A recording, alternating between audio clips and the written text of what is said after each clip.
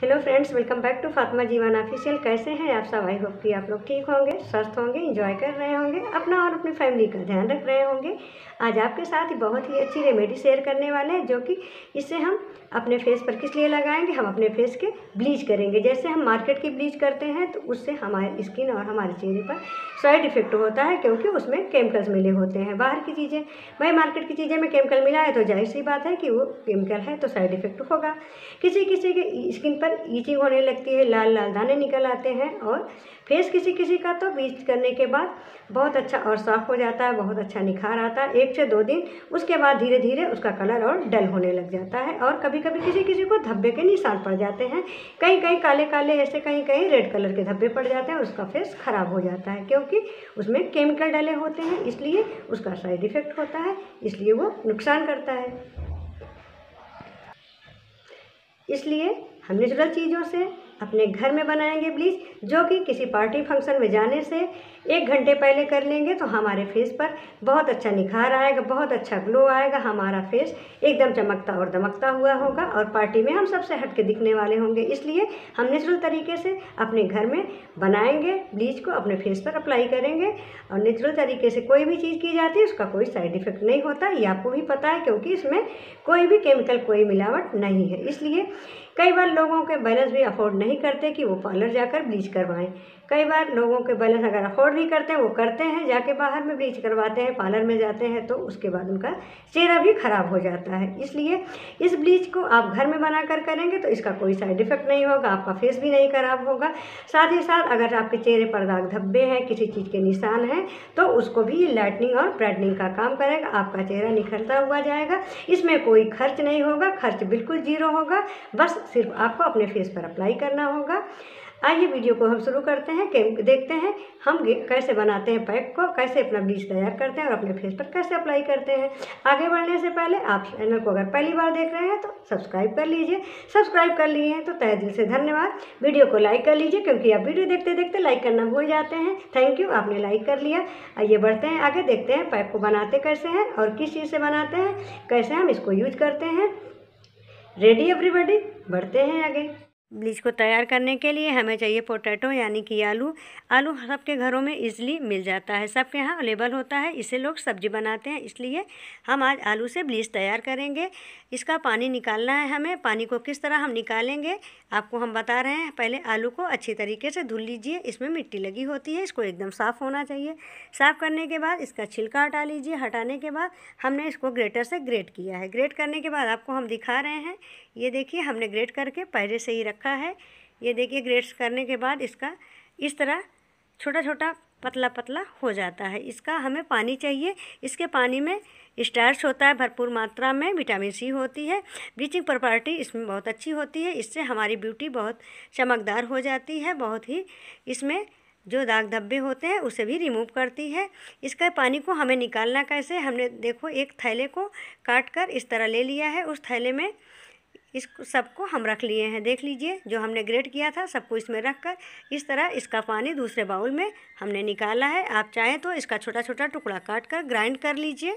Grind करने के बाद भी आप किसी भी कॉटन कपड़े से इस तरह छान कर या छन्नी की हेल्प से भी इसका पानी निकाल सकते हैं। देख लिए, देख लीजिए, ये पानी इस तरह हमने निकाला है। इस पानी में हम कुछ और मिलाने वाले हैं। ये पानी बहुत ही कारगर है हमारी स्किन के लिए। अगर आपके फेस पर डार्क सर्कल है तो इस पानी के रेगुलर यूज़ से आपके डार्क सर्कल हमेशा के लिए चले जाने वाले हैं। ये इतना कारगर है कि आपके फेस पर अगर कोई भी निशान है, दाग धब्बा है, कील मुहासों के दाग हैं तो वो भी चले जाते हैं। देखिए, दूसरी चीज़ हम लेने वाले हैं, टोमेटो। टमाटर भी बहुत ही हमारी स्किन को निखारता है, हमारे कलर को फेयर करता है। ये देखिए, इसका जूस भी हमें इसमें लेना है। इसके जूस को हम इस तरह निकाल रहे हैं, आप देख सकते हैं। आप चाहें तो इसलिए इस तरह निकाल सकते हैं। अगर इस तरह नहीं निकालते हैं तो इसका ग्राइंडर जार में ग्राइंड इसको कर लीजिए। उसकी प्यूरी तैयार हो जाएगी, उसको भी मिला सकते हैं। देखिए, इसका हमने रस इस तरह निकाला है। इसके रस से हमें काम था। ये देखिए, हमने निकाल लिया है। इससे हमारे फेस को बहुत ही अच्छी पोषण मिलता है, बहुत अच्छा निखार आता है हमारे फेस पर। तीसरी चीज़ हमने क्या लिया है? एक चम्मच मुल्तानी मिट्टी, ये भी लगभग सबके घरों में सबके पास रहता है। इस मिट्टी से बहुत ही अच्छी हमारी स्किन हो जाती है। स्किन को ये टाइट करती है, दाग धब्बों को रिमूव करती है। स्किन को ब्राइट और निखार कर ये नेचुरल निखार देती है और बहुत अच्छे से लाइटिंग करती है। स्किन में किसी भी प्रकार की झुर्रियाँ नहीं आने देती, रिंकल्स फाइन लाइन नहीं आने देती। अगर आपकी झुर्रियाँ फाइन लाइन आई हैं तो उसे भी ये रिमूव करती हैं। इसलिए हमने मुल्तानी मिट्टी को इस तरह मिलाया है। अगर आप साबुत मुल्तानी मिट्टी आपके पास है तो उसे आप फाइन पाउडर तैयार कर लीजिए और इसमें मिक्स कर लीजिए। इन सबको मिक्स करना बहुत ज़रूरी है। अब इसमें देखिए, चौथी चीज़ हम क्या मिलाने वाले हैं? अब हम इसमें मिलाएँगे रोज़ वाटर। रोज़ वाटर हमें लगभग एक चम्मच चाहिए। ये देखिए, हमने रोज़ वाटर इसमें लगभग एक चम्मच ले लिया है।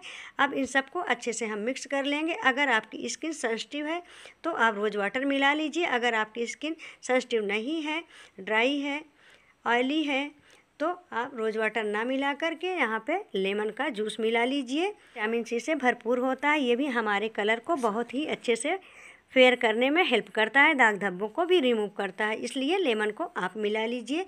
अब इससे हमारा ब्लीच बनकर रेडी है, इसको हम अप्लाई कर सकते हैं अपने फेस पर। अब इसको आप देखिए किस तरह अप्लाई करना है। किसी भी चीज़ को, किसी प्रोडक्ट को, किसी पैक को अप्लाई करने से पहले अपने फेस को एकदम अच्छे से क्लीन करना चाहिए। उसे साफ़ होना चाहिए, कोई भी धूल मिट्टी, गंदगी, कोई मेकअप नहीं होना चाहिए। साफ़ करने के लिए हमने लिया थोड़ा सा रोज़ वाटर, थोड़ी सी काटन। और अपने फेस को हम इस तरह क्लीन कर रहे हैं। आप देख लीजिए, सारी धूल मिट्टी गंदगी सब इस कॉटन में आ गई है। हमारा फेस क्लीन है, हमारे फेस पर कुछ भी नहीं है। आप जब पैक को लगाने लगें अपने फेस पर तो उसको एक बार फिर से मिला लेना चाहिए। उसको मिक्स करना ज़रूरी होता है, क्योंकि उसके प्रोडक्ट्स नीचे बढ़ जाते हैं। इसलिए हमने देखिए, थोड़ी सी कॉटन लिया है। ये घोल हमारा पतला है, बहुत थिक नहीं है। इसे, इसलिए पतला बनाया गया है कि इसे लगाने का तरीका अलग है। आप देखते रहिए किस तरह हम लगाते हैं। फ़र्स्ट बार इसे अप्लाई करते समय आपको ध्यान देना है कि हम या तो बैंड लगा लें, हेयर बैंड लगा लें, बाल को पीछे की तरफ़ बाँध लें। इस तरह करते हुए बाल में ना लगने पाए पैक। देखिए, हमने लिया थोड़ी सी कॉटन। कॉटन से एक पतला सा लेप लगा लेंगे अपने पूरे फेस पर। ये थिक नहीं है, इसलिए मोटी सी परत नहीं लगेगी। अपने पूरे फेस पर इसकी एक लेयर लगा लीजिए। इस तरह काटन को डिप करिए थोड़ा सा निचोड़ दीजिए, पूरे फेस पर इसको अप्लाई कर लीजिए। अप्लाई करने के बाद इसे दो मिनट के लिए सूखने के लिए आप छोड़ दीजिए। दो मिनट में जब हल्का सा ये ड्राई हो जाए फेस पर आपके तो आप काटन को दोबारा उसमें डिप करें। उसके ऊपर दूसरी लेयर भी उसी तरीके से फिर से अप्लाई कर लें। ये हमारा ब्लीच नेचुरल तरीके से बना है, इसमें कोई मिलावट नहीं है, इससे कोई साइड इफ़ेक्ट नहीं होगा। फेस को हमारे बहुत अच्छे से नेचुरल निखार लेके आएगा। अगर आपके फेस पर किसी प्रकार के दाग धब्बे होंगे तो उसे ये रिमूव करेगा। आपके फेस पर स्किन को अगर ड्राई रहती है तो ये हाइड्रेट बना के रखेगा। आपकी स्किन हाइड्रेट रहेगी, ड्राई नहीं रहेगी। आप किसी पार्टी फ़ंक्शन में अगर जाना चाहेंगे तो एकदम ब्लीच करके, जैसे आप नेचुरल ब्लीच किए हैं, फिर भी वो आपको लगेगा कि हम पार्लर वाला ब्लीच किए हैं। इतना निखार इससे भी आएगा। इसे आप हफ़्ते में दो से चार बार कर सकते हैं, दो बार कर सकते हैं। आपको जब टाइम मिले तब कर सकते हैं। इससे आपकी स्किन बहुत टाइट रहेगी। कोई दाग धब्बा नहीं रहेगा, ब्यूटीफुल आपकी स्किन हो जाएगी, बहुत निखार आएगा। आलू में बहुत ही अच्छी प्रॉपर्टी होती है, उसमें ब्लीचिंग होता है, उसमें ब्लीच की मात्रा अधिक होती है, हमारे फेस पर किसी प्रकार के दाग धब्बे नहीं पड़ने देती है, वो बहुत ही अच्छे से हमारी स्किन को सेफ्टी देती है और केयर करती है। देख लीजिए, हमने दूसरी लेयर भी लगा लिया और दो मिनट के लिए सूखने के लिए छोड़ दिए। इस तरह करते हुए आप उसके ऊपर लेयर लगाते जाएँ, इसकी परत थोड़ी मोटी हो जाएगी, फिर दो मिनट के लिए छोड़ दीजिए, जब सूख जाए तो आप फिर दूसरी लेयर उसके ऊपर लगा लीजिए। इस तरह करते हुए कंटिन्यू आपको करते रहना है दो दो मिनट का गैप करते हुए। या तो आपका पैक ख़त्म हो जाए, या तो आपका पैक ना ख़त्म हो तो आपका जितना टाइम हो, पाँच से दस मिनट तक इसका लेप इस तरह अपने फेस पर लगाते रहें, एक मोटी सी लेयर हो जानी चाहिए।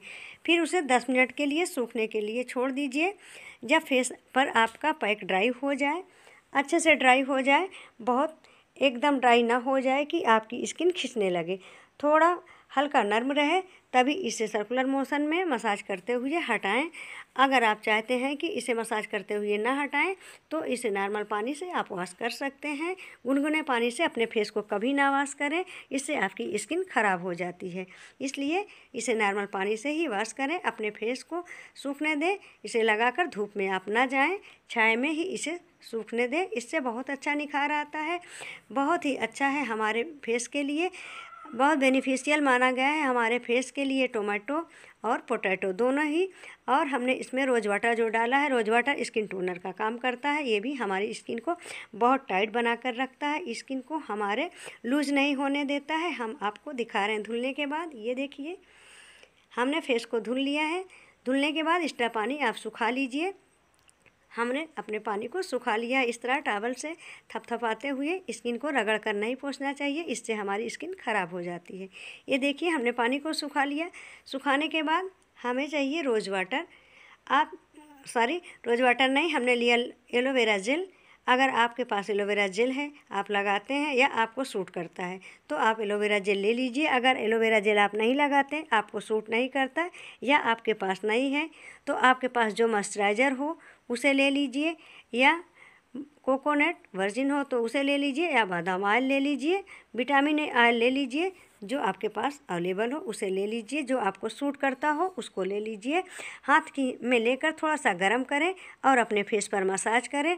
मसाज करते समय आपको हमने कई बार बताया है, आपका हाथ इस तरह चलना चाहिए, जिस तरह मेरा हाथ चल रहा है। हल्के हाथ से अपने फेस पर थपकी देते हुए, फिंगर की हेल्प से इस तरह फिर उसके बाद मसाज करें अपने फेस को। मसाज करने के बाद अपने फेस को इस तरह छोड़ दीजिए। मसाज करने के लिए दो मिनट का समय ज़रूर दें। अगर आपके पास टाइम हो तो इसे आप दिन में लगा सकते हैं। अगर आपके पास टाइम नहीं है तो इसे रात में भी लगा सकते हैं। इससे कोई फ़र्क नहीं पड़ता। रात में लगाएँ या दिन में लगाएँ, किसी पार्टी में जाने से पहले लगाएँ। बहुत अच्छा निखार आता है, बहुत ही अच्छा ग्लो आता है। फिर मिलेंगे ऐसे प्यारी प्यारी वीडियो लेकर। अभी आप लाइक करके जाएँगे, बिना लाइक के नहीं जाएँगे। Bye bye